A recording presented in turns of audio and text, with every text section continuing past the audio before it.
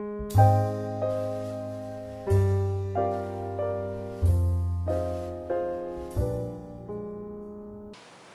is called Going Nowhere. People live far apart here, the girl notices from the car.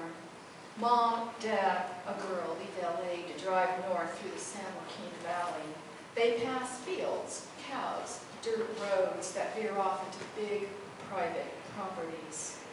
You can play the piano after 10 in these parts, jokes Dad. Mom, behind her cat-eye sunglasses, smiles the smile that says, I am not happy. Dad calls on his customers in Fresno, Visalia. The horse people aren't buying today. At dusk, they reach Modesto, a motel with a pool beneath a pink neon sign. At the Chinese cafe where they have dinner, the girl feels grown up drinking hot tea.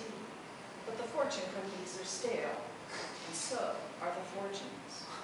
Neat squares of bed with stiff sheets wait for them in a room with paintings of flowers, home to strangers. The girl likes the emptiness, the drawers nobody puts their things into. She likes the streetlights, the way they spill through the blinds in the dark, how the night sounds like the rush of cars, the roar of trucks through a dark distance. In the morning, someone else has to make the beds they've messed.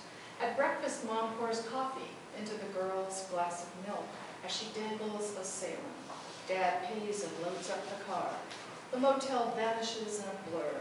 The girl watches how the flat world speeds up as if it were on wheels, and her small family is the one standing still.